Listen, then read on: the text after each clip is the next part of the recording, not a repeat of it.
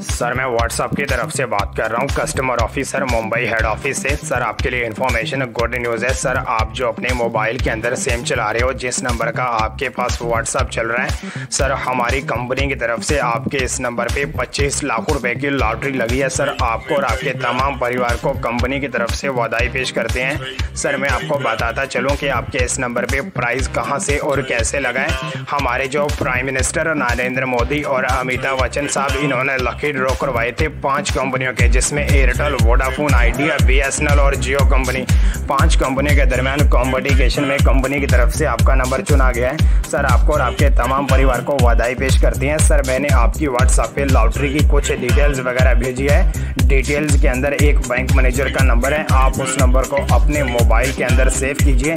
Save करने के बाद आप उस नंबर पे ओनली व्हाट्सअप कॉल कीजिए।